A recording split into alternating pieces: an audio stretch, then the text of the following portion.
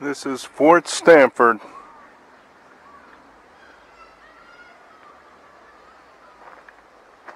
They have a nice garden here.